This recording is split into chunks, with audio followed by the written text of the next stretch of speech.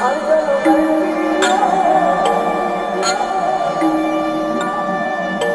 ਖਾੜੇ ਵਿੱਚ ਡਾਂਗ ਖੜ ਕੇ ਚੱਕੋ।